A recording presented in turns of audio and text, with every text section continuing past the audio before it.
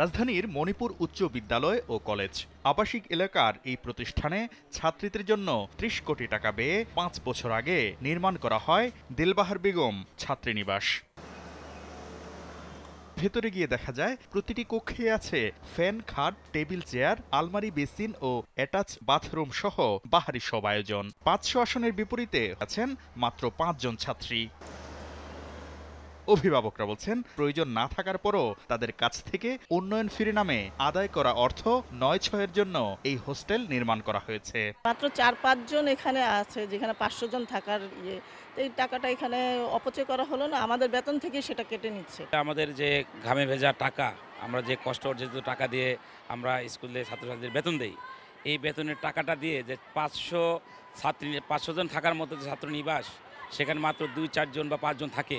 এটা তো কোনো মতেই কাম্য নয়। এই ছাত্রীনিবাসে পাঁচজন ছাত্রী থাকে না অথচ এখানে সাতাইশ কোটি টাকা ব্যয় হয়েছে। এই ব্যয়ের ভার আমাদের অভিভাবকদের নিতে হচ্ছে। এছাড়া কয়েক কোটি টাকা ব্যয়ে অধ্যক্ষের জন্য ডুপ্লেক্স বাড়ি নির্মাণ করা হলেও তা ব্যবহার করা হচ্ছে না।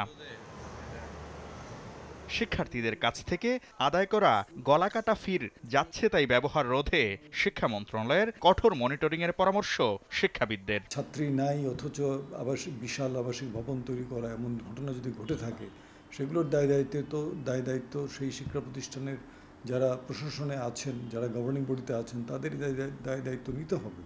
কারণ শিক্ষা প্রতিষ্ঠানগুলোর অর্থ শিক্ষা প্রতিষ্ঠানেই ব্যয় করতে হবে।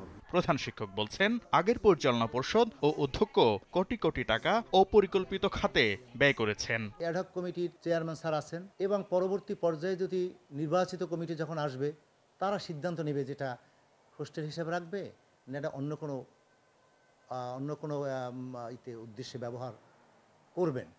ঠিক এই মুহূর্তে আমি এটার উত্তর দিতে পারব না। আর মণিপুর উচ্চ বিদ্যালয় ও কলেজে নানা অনিয়মের প্রমাণ পেয়েছে সরকারের পরিদর্শন ও নিরীক্ষা অধিদপ্তর।